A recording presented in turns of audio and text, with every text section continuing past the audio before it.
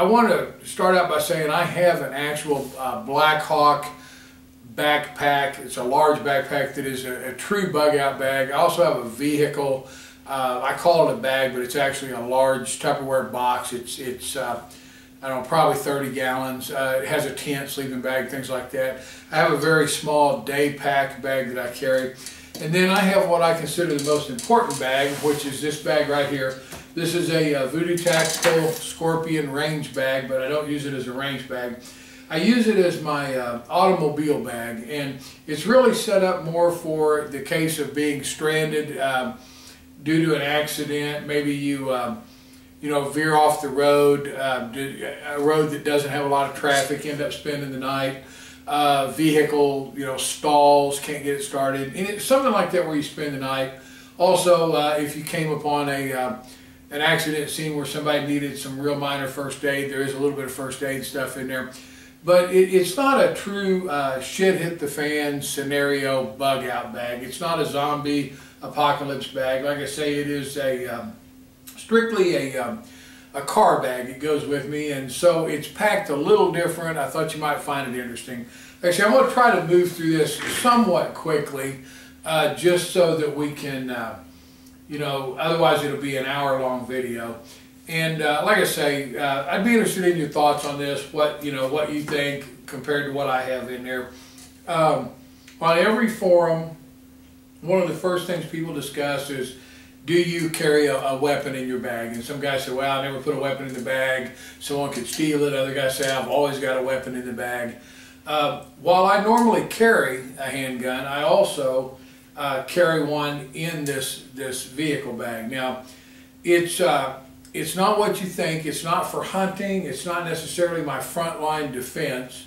It is just more of a um, of a reassurance if I um, were stuck out overnight uh, on a deserted road or something, and you know, I, I would want to make sure that I always have something with me. And just on the off chance that I left without my normal everyday carry, this uh, this does have one. Uh, normally I would show you that the guns are not clear, but I keep this gun loaded, so you know, I'll, I'll, just try to be real careful with it here, but I'm not going to empty it. I keep it in one of my uh, pocket holsters, and the reason for that is that, you know, this is not one that I'm going to, to strap on a, a belt. Um, it'll work in a blue jean pocket, a little big. It's a uh, J-frame size 38. This one uh, is a Charter Arms undercover. And uh, I'm going to go ahead and put that back up. There's also about a dozen rounds. I think there's uh, actually 15 rounds of uh, additional ammo in here. Like I say, that if a person were you know stranded in this vehicle during the night, I believe that would be adequate. Uh, again, like I said, this is not a zombie apocalypse bag, but I do carry that. Uh, on the other side, I have to wear pretty strong reading glasses and in case the ones that I have with me, I always have a pair or two with me, but in case they were to be damaged, I carry a, not a very expensive set, but a cheap set of reading glasses. In addition to that, uh, one of the things that I don't go cheap on is I carry a, a good flashlight. Um, this uh, is a uh, Surefire. It is, uh, let me check the model number. It is a Surefire Fury. I don't remember the exact power of this, but it's a two power. It's low, and then you turn on again, and it's, as you can see, it's amazingly bright. I, I think it seems like this was three to 400 lumens, but I, I cannot remember. It actually may be stronger than that. Um, the flashlight is something that I just I just don't cheap out on. I, I believe that a good flashlight is, is worth the money that you'll pay for it. I also, uh, like everybody, I carry a compass. Truth be known, I, I don't know how to navigate with a compass. Um, what I figure is that in a situation where if I actually did have to walk through a wooded area, I could use this to uh, maintain a, a, steady course of direction. I can uh, line the bezel up with my with my uh, bearing arrow there and and just at least or heading arrow, whichever that is. I, I'm not a navigator but at least I could stay somewhat true to my course and not just end up walking in a big circle. I don't carry a uh, hiking map of any kind. Again, like I say, I don't know how to, to uh, navigate with one, and if at all possible, I would stay with my vehicle anyway. But I, I do have that, like I say, just just if nothing else, if I had to walk on a road, it'd give me an idea which direction I was going to go. If I was walking through the woods, it would keep me, in theory, from walking in a circle. So that's why I carry that. Uh, I carry a, uh, a small locking saw. I have uh, a little better one in my bigger bag. This is a Sheffield. It's very sharp. Um, I move up here a little bit. Actually, I may try to relocate the uh, the camera here shortly. In fact, let me just go ahead and and uh, relocate this camera. I don't think that I'll have to actually uh, turn it off or anything to get to get a little better view of the items that I pull out of here.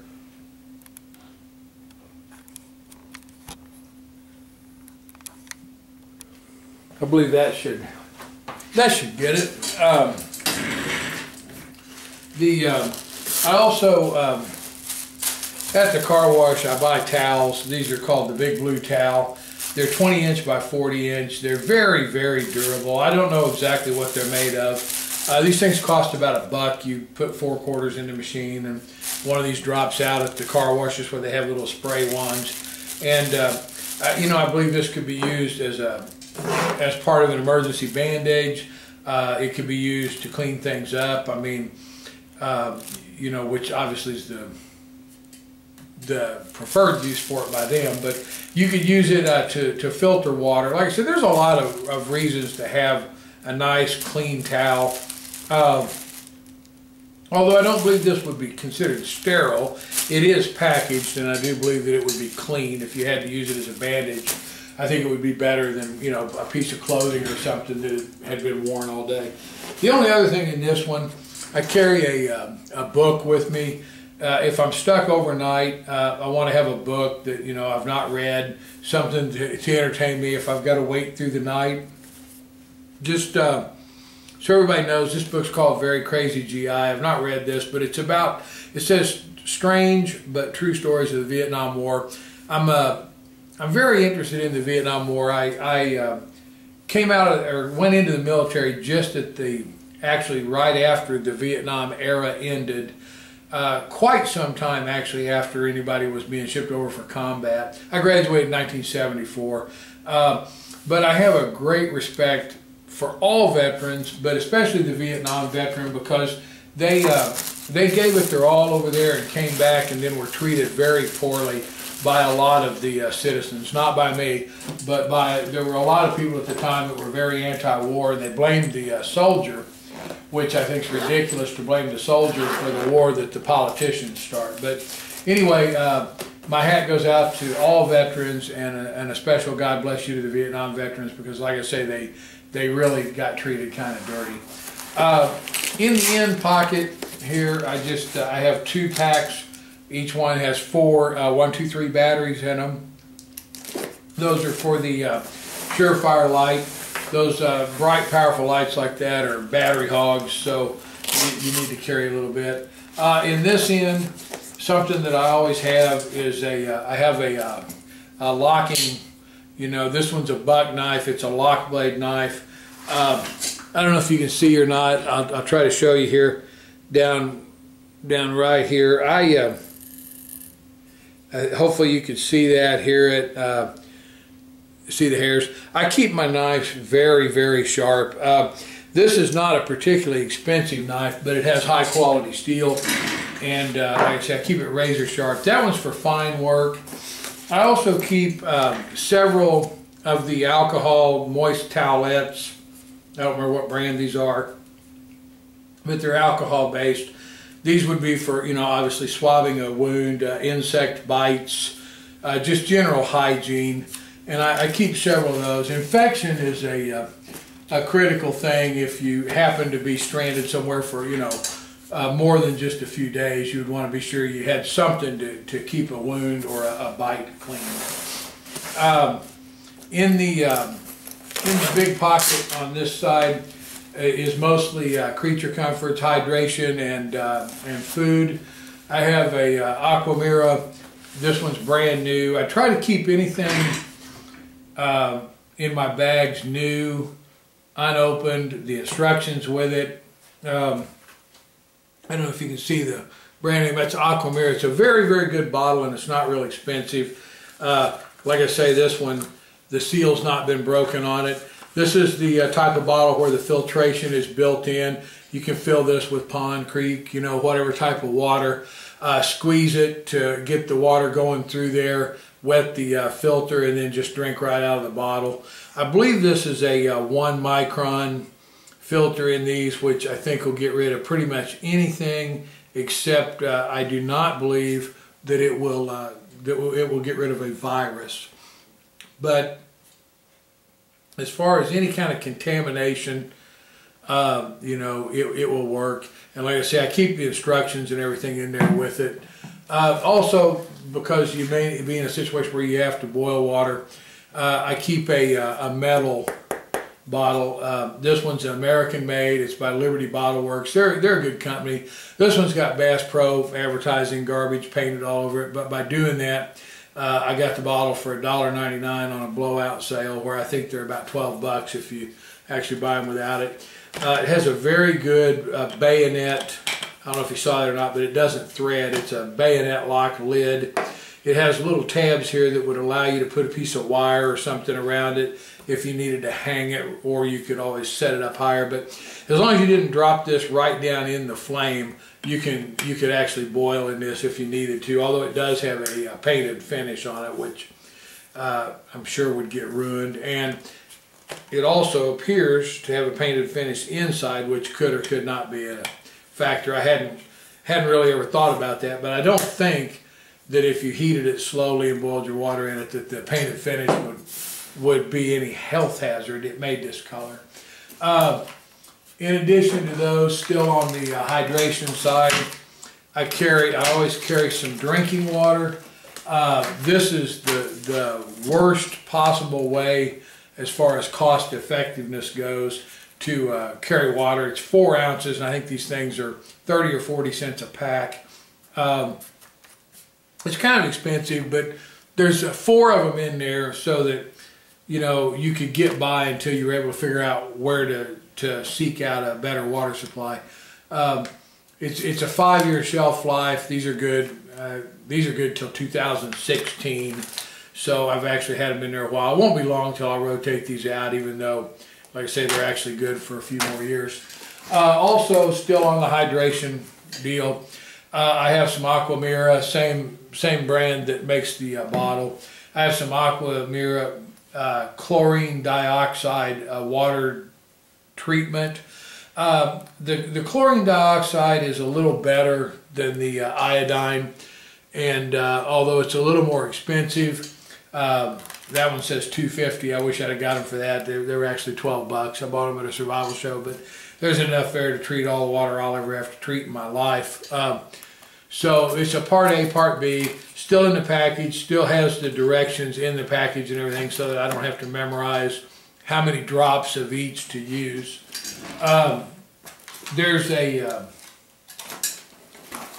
on the food side, I don't carry a lot of food, and the reason is you can go a couple of weeks if you have to, literally before you know before you have to worry about starvation. I have uh, this is six bars of the survival bars. These particular bars are Food Lab Inc., which they're not bad. I mean, they're not as good as the Mayday bar. I normally have Mayday bars. Uh, that's what's in my big bag. And uh, you can see that these are, you know, uh, like I say, 650 for six bars, about a buck a bar. I think that's kind of standard at most of the shows. They're vacuum sealed. Uh, let me see if these have a date on them. These are good till 616. So, like I say, these will get you by. Actually, uh, there's 2,400 calories in there, and you can get by uh, quite a while on, you know, four to 600 calories a day. It's, I mean, it's not really going to be living large, but you know, it, it'll get you by. Like I say, starvation is really a pretty low risk in a deal like this. Uh, I have uh, some candles. I usually carry, uh, I think there's six in the bag. Again, if I was broke down or, or stranded at night and um, was going to spend the night, I you know I could light a candle, read my book, something to stay calm until the adrenaline went down and I was able to sleep. Um, like I say, so you know I, I think it is. I think little things like that are nice. I think they help give you a calming effect, and the calming effect in turn increases your your likelihood of, of survival by quite a bit. Um,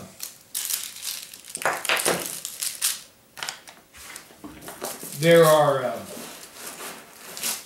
on this side, on the inside, I have three of the uh, zip packs of, uh, this is a uh, fire starting wafer.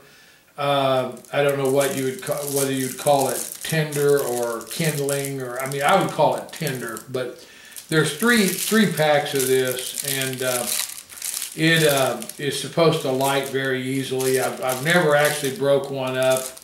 I've never broke one up and used it. It says uh, just light the wrapper, and uh, but most of the people that I know actually break these in half because it doubles the amount of, of fire starting that you have. And uh, I'm, I'm big believer in fire and shelter and water. Like I say, the the uh, food source I think is a little bit a little bit overstated, but or, or, or overemphasized. I mean, I also have the uh, strike most anywhere matches. They're not really anywhere, even though they say they are. And uh, this particular orange bottle has the striker on the bottom. Uh, it's not the greatest setup, other than it is at least a uh, kind of a metal rod. It's a little more durable. I have another pack of them in there that I'll show you in a minute that have the uh, sandpaper in them. I have, this is one of my two supplies of uh, duct tape. This one's quite a bit bigger than, uh, I also have another smaller one of camo, but duct tape I think is critical. Everybody jokes about it, but truthfully, I mean, there's, there's not much you can't fix with it.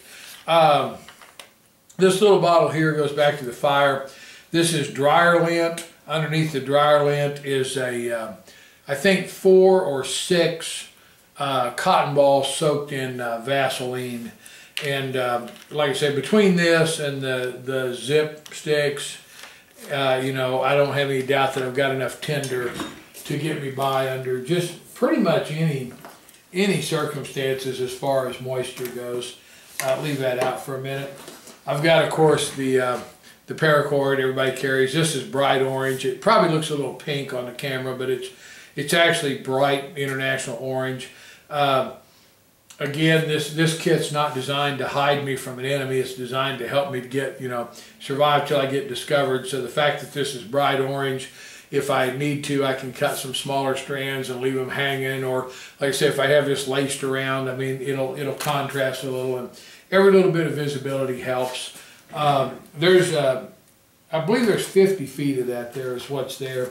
Uh, I also have not a, a multi-tool, but I do have a very good, this one's made by Browning. Um, it's a very good pair of, uh, of heavy duty pliers with a wire cutter here. And uh, like I say, I, I have uh, a, uh, multi-tool also, which for some reason I was playing with a minute ago and forgot to put back in the bag. It is uh, sitting right here. But I also, I carry a uh, this is the uh, more traditional Gerber. This is the Gerber, you know, pliers, knife, everything. I, I don't know how much a guy actually needs the whole multi-tool, but I do carry it. I, uh, I believe in redundancy. I carry a lot of extras of stuff. I uh, study a lot of things that I probably don't need to. I mean, I have a uh, kind of a motto that that uh, you know I, I came up with, which is that you can uh, you can learn a million things and never use them, and it won't hurt you. But there's one thing you could fail to learn that could cost you your life, and I mean you'll never know what that thing is until you're in the situation where you need that knowledge. So the more you can carry and the more you can learn, the, the better chance you have of surviving in any situation. Uh, on a medical side, in addition to the uh, sanitizing wipes and stuff, I have a uh, the uh, field type. This is not military issue, but it's the field type basic first aid kit there. I, I hope you can see it all right. Uh, it has the, uh, and it is one of the few things, the first aid kits are one of the few things that I think when you get them, you should immediately open them because I have opened them before and seen stuff that was not in them that was listed. So I went actually went through and inventoried this, but it has the uh, you know the the band-aids, the uh, adhesive strip type, and then also the uh, the elastic bandages, the uh, sterile sponges. It has an instant ice pack that you break and squeeze, tweezers, scissors. Uh, it has a small lancing cutting type tool. It has a little bit of antiseptic soap, antiseptic wipes, some iodine wipes, some alcohol wipes a uh, antibiotic cream, uh, some adhesive tape, and some pain reliever, which I, judging by the color of it, I believe that it is uh, Advil. But anyway, uh, I carry that. In addition to that, I also carry a uh, QuikClot. I have more of those in my bigger bag, and I also have a couple of really big ones in my car box. But I, I believe in these.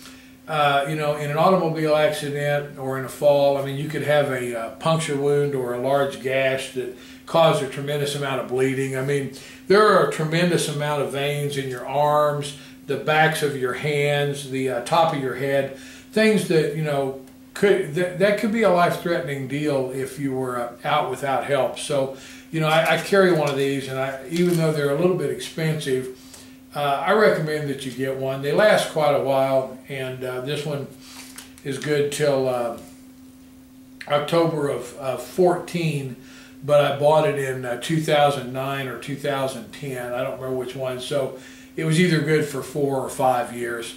Uh, so I mean, they're you know, they're they're worth it. I, my guess is it would probably work after uh, 2014, but you know I, I would replace it anyway. Uh, this also is vacuum packed, and like I say, it's, it's, a it's a nice. I think it's a nice thing to have. I'm going to uh, put this stuff back in while I uh, go to another uh, section of the bag, just so I can keep room on the on the table here. And uh, I apologize if I'm moving real fast. I actually did this video once and yacked for 45 minutes and so I, I deleted it and redoing it so that it's not quite so long. Uh, I believe I was already, no, I was not in this one. Uh, yeah, I was in this one, I apologize. I thought I was. Uh, on the other side here is uh, another big uh, deal. I have uh, some, this is some self-sealing tape. Uh, they sell it for plumbing and things like that. It's waterproof. It bonds to itself rather than having an adhesive on it. So you would have to wrap it a few times to get it to bond. But then uh, once you do, uh, it won't loosen up, you know, if it's bled on or gets wet or anything like that. Uh, there's, uh, I think, 20 feet of it here, 25 feet. It was a couple bucks. It's pretty cheap insurance if you need some some uh, tape that'll hold up to uh, a little bit of blood or water. It's another pack of candles. Uh, like I said, I usually carry six of those. Those are uh, rated as a uh, nine-hour candle. So I mean that's that's a lot of uh, candle power. But you know that way you could also have more than one going in your vehicle. here's a little bit more duct tape. This is some camo duct tape uh, wrapped around this, this uh, pill bottle that I don't use anymore. Inside this pill bottle is nothing but one of those cheap picture hanging kits that you uh, buy that uh, has some little eye screws and I think about 24 to 30 inches of wire, maybe 36 inches, but it's just a small roll of wire that I, I twisted into a figure eight and then shoved it down in there. Uh, I uh, stuck a couple of uh, alcohol wipes on top of it, mostly just to uh, contain the uh, the rattling somewhat because it was annoying. But uh, you know, you could rig a snare with that. Although again, this is not really a uh, survival bag where I anticipate doing a lot of trapping or anything like that. But you could rig that wire to hang your bottle over a fire. You, if a door was sprung on your vehicle or something and didn't want to stay closed, I mean, you could use it to, to pull it closed if it was cold enough that the airflow was making a difference. There's a lot of good reasons to have some wire and a few little screws and stuff. The screws are pointed and have threads on them that can thread in, plus with the pliers you could stick the end of the needle in there and turn it if you needed to. So, like I said, I just, you know, I don't have a lot of hardware in my bag, but I think that's, you know, something that's, that's worth having. This, uh, I know you've probably seen this. Hey, sorry, I bumped right into the camera, but a million times. Everybody has one of these. It says mil spec plus. That's a joke. I mean, this is not mil spec anything. It's made in China. It's a 52 by 84 inch emergency blanket. It's silver on one side, gold on the other, and and uh, says waterproof, reflective, uh, reflects sun and, and heat for cooling in hot climates, and and all that. What, what it really does is it, it makes the company about three bucks. But I carry one. Uh, I think that there are, you know, it could be set up and used as a signaling device. It probably would make a decent heat reflector. Although these things are so fragile, if you get any kind of a nick in them, they just tear right through. So don't bet your life on one of these. I, I'm not saying not to carry one, I do. But like I say, this is really not a serious piece of gear. I mean, it's, uh, like I say, it's something that's in almost every survival kit, and I'm sure it's got its purposes, but it's not really any more durable than a, uh, than a garbage bag. Uh, speaking of garbage bags, I have a uh, 44 gallon uh, heavy duty lawn and leaf bag here. This is a, uh, I believe, Hefty brand, I think it was. As you can see, it's, it's very, very durable. Uh, now there again, I mean, I could take a knife and puncture it easily or a sharp stick, but it's, it's, it's definitely durable, you know, in the uses that you would have for it. Uh, you can cut a hole in this thing if you need to, pull it down over you and use it as a rain shedding like a poncho or a rain jacket. You can uh, obviously set on it to keep yourself dry if you're setting on wet ground. Uh, there's, there's a lot of uses for this. Plus, I mean, you can, you can haul water in it. You know, there, there's just a lot of uses. And I mean, these things weigh virtually nothing and they cost virtually nothing. So I think at least one good large lawn and leaf bag in your survival kit's a good idea. I also, uh, as you know if you watch a lot of my videos, I make uh, holsters. I buy my rivets in bulk. I usually buy them in uh, uh 10 of these little bags at a time. These are 100 bags. I think I buy rivets a 1,000 at a time. And um, this is a Hanson rivet, but the, the point of this is not about the rivets or the holsters. This is just one of the most durable little Ziploc bags I've ever seen in my life. And so uh, every time you know I get in a load of rivets, I usually grab one of these, and I mean this thing's so thick, and I mean so strong.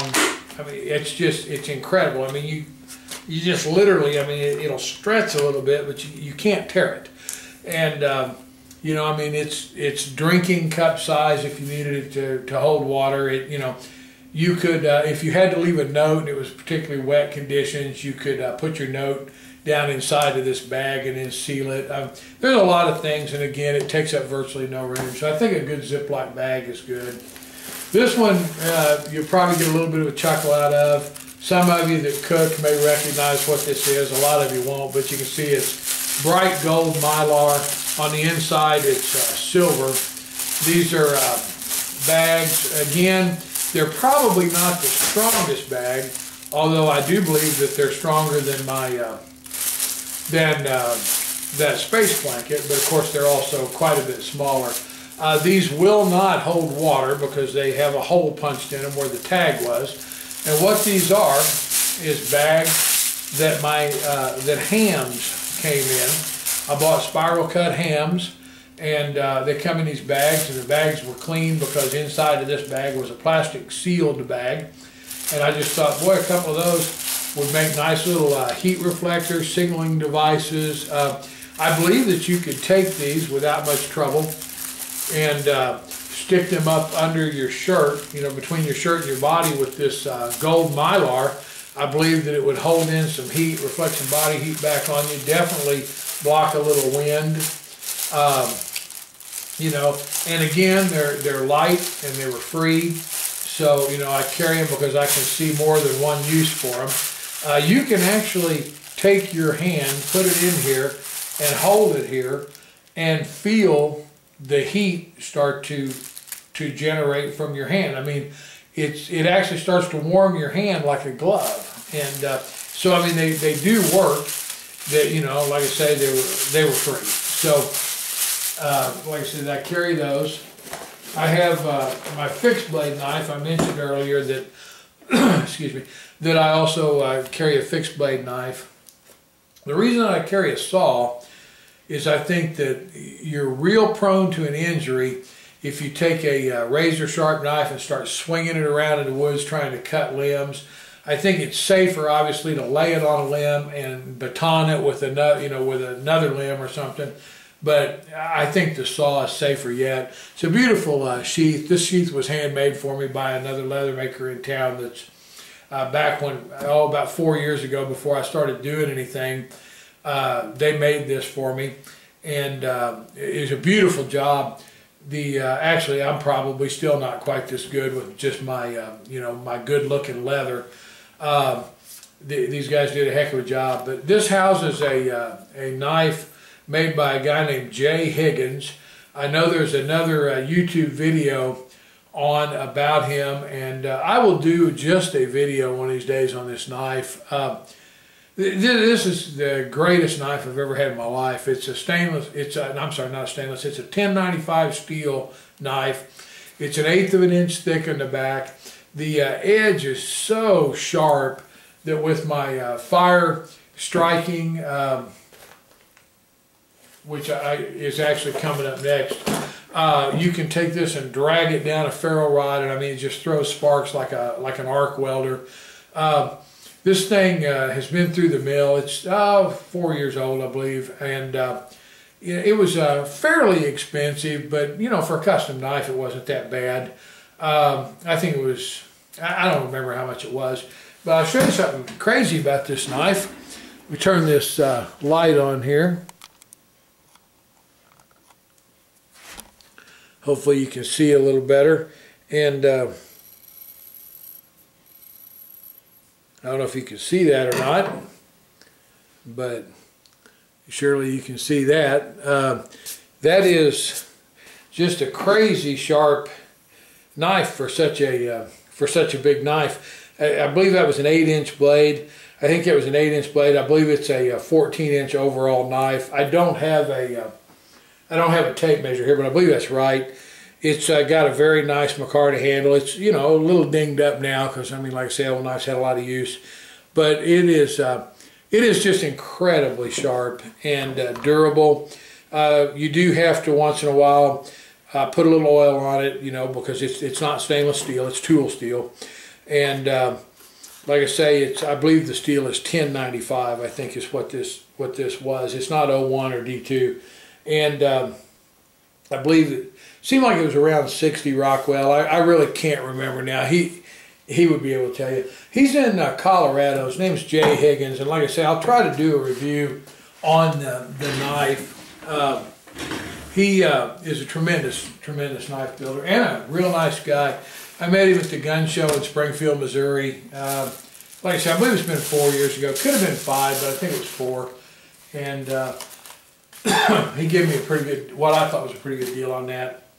Uh, my understanding, he also has a, uh, like a, uh, a production grade of knife too, but this one would be considered one of his uh, customs. I believe his uh, his production knives, I think, are called Colorado Knife Company, and it has a big logo there that says Colorado Knife. But you can probably find some YouTube videos on this guy if you're wanting a uh, large survival hunting type knife that's amazingly durable.